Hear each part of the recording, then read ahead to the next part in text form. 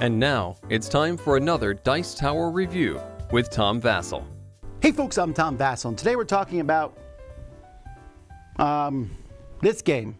It's it's Sumatra, but I could you could be certainly understand if you cannot read that cover. Really, really bad choice of font on this game. From Reiner Knizia, this is a game about collecting tiles for various amounts of points because, of course, it is. It's from Reiner Knizia. Um, but in this game, you are traveling and documenting your journey about the things you saw. That's kind of a cool theme. Let's see if the game is cool.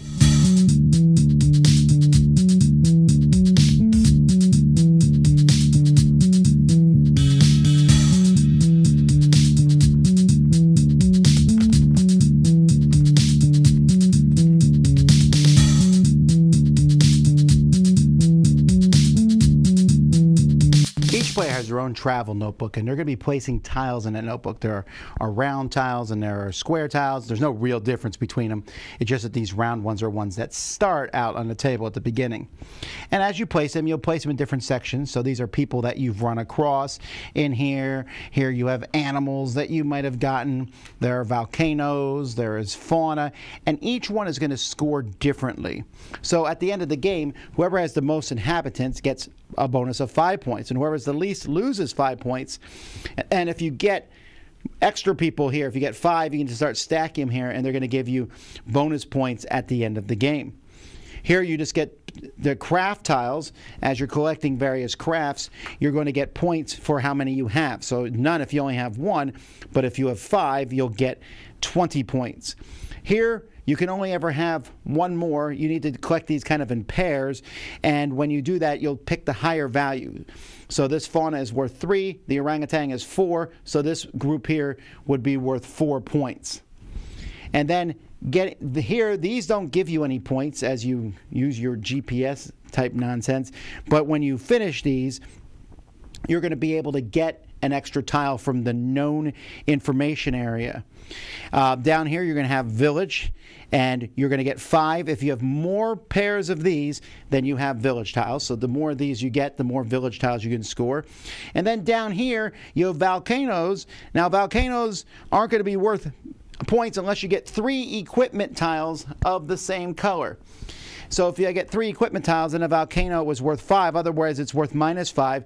But also, if I get three equipment tiles of the same color, I get a bonus of five points anyway. But even more importantly, if there are no equipment tiles in a column, I don't score for anything in that column.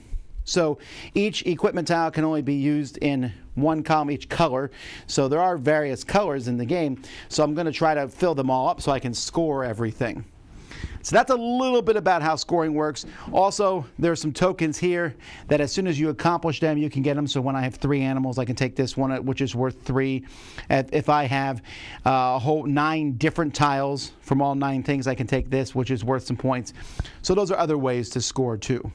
So there's a board here in which you have this notebook here, and this is the travel notebook. And on a player's turn, if your pawn is in the same spot as the travel notebook, you can take any tile from what is called the available information area. So you can take one of these and put it on your board. Or you can move your pawn. Now there's some rules about moving your pawn. You can't do it when there's round tokens here, but once the round tokens are gone, that's at the beginning of the game, you can move it to the next section. That's all you do. And then on your next turn, you'll move the notebook there. And when you move the notebook there, you're going to draw tiles from the bag here that match this number.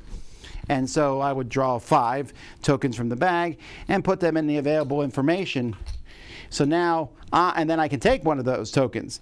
Then everyone else is going to have to waste turns moving up here to before they can grab the tiles. So if you're the first person to move to a section, you'll have the chance to grab them. But if you move, you're also deciding not to take something. Then all the tokens will move up to this known area here as time goes by, and you can only get these tokens by making pairs of GPS and tracking tiles on the board. Once the notebook gets here, you can see there's eight tiles. Once those tiles are gone, that's going to be the end of the game, and you'll score like I mentioned already.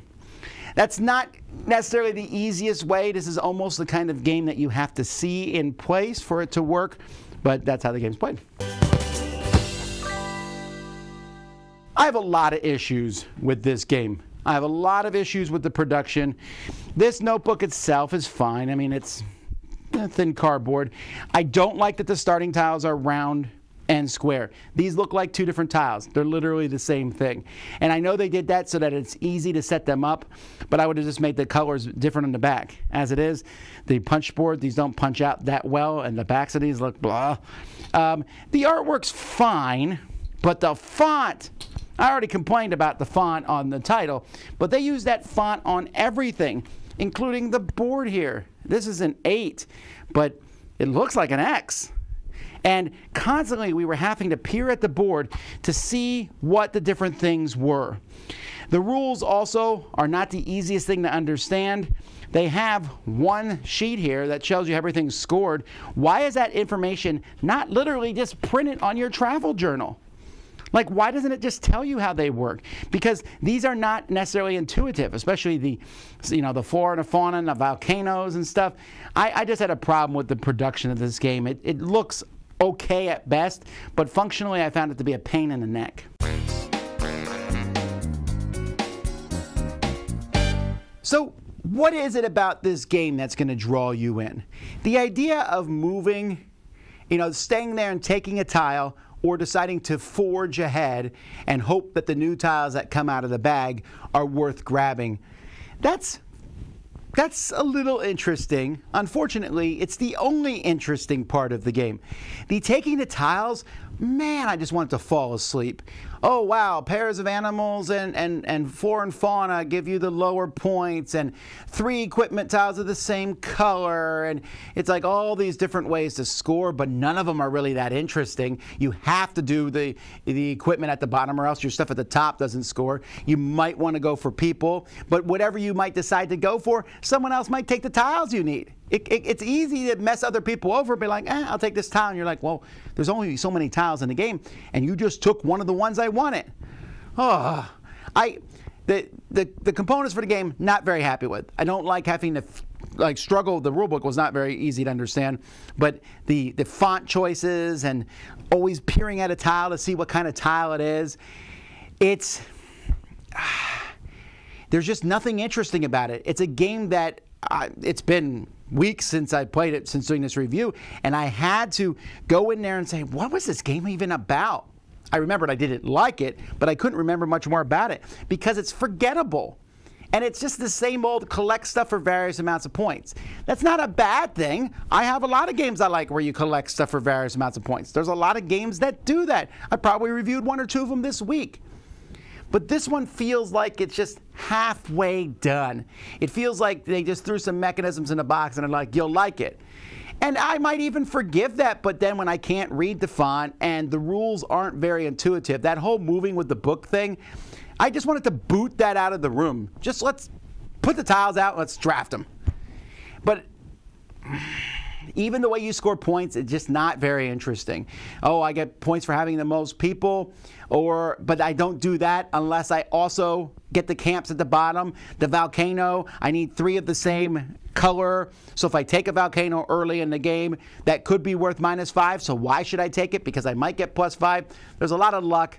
Uh, and I've talked about this game more than I feel like I should at this point. This is. It's a nice cover, but that's about the best thing I can say. Dice Tower Judgment, a forgettable game with bad components.